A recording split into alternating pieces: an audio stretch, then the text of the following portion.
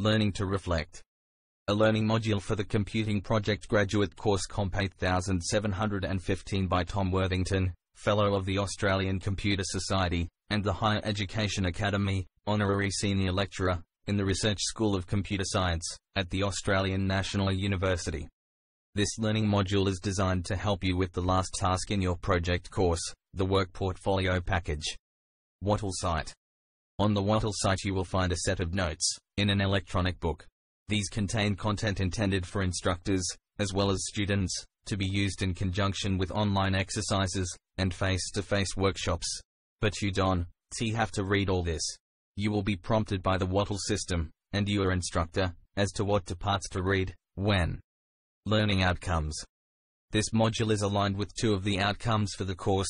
Number 3. Learn any specific technical skills required by their topic, and apply them to project work. And number 4. Apply and deepen skills in oral and written communication, and apply these in a project context.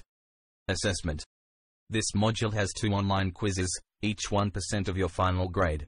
Contributions to two discussion forums are each 2%. Two assignments are each 7%. Quizzes. For each quiz you will answer 3 to 5 questions, with multiple choice and short answers. The quizzes are automatically marked by the system.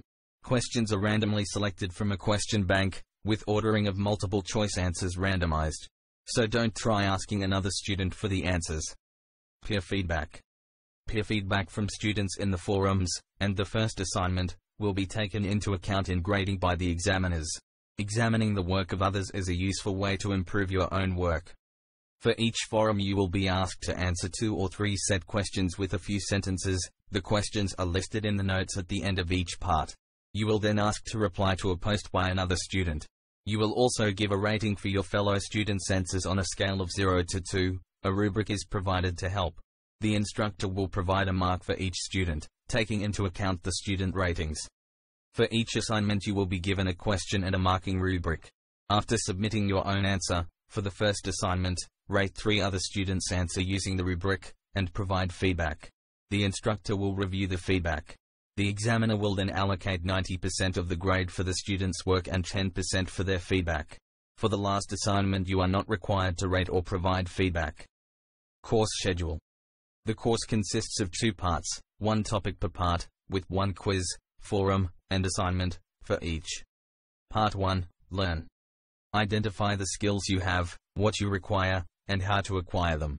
The assignment task is to address a typical set of selection criteria for a position. Part 2, Report and Reflect. You deepen skills in oral and written communication. The assignment task is to prepare an application for a real position, revising the responses to selection criteria from the previous assignment. Communication Platform. This module uses the ANU Wattle system for communication.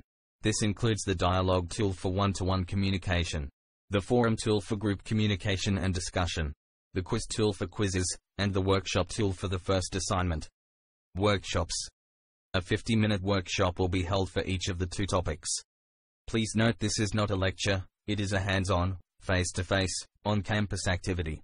Read the notes, and readings for topic, complete the quiz, post your answers to the forum, and start work on the assignment, before attending. Bring along your answers to the forum questions, and your draft for the next assignment. Be prepared to express your view of the quality of the work of your fellow students. There are no marks awarded for the workshops. Learning to be a professional. This module is more than just doing assignments to pass a course. The carefully designed series of exercises are to help you to develop capabilities expected of working professionals, to identify your development needs, how to acquire these skills, and to reflect on what you have learned.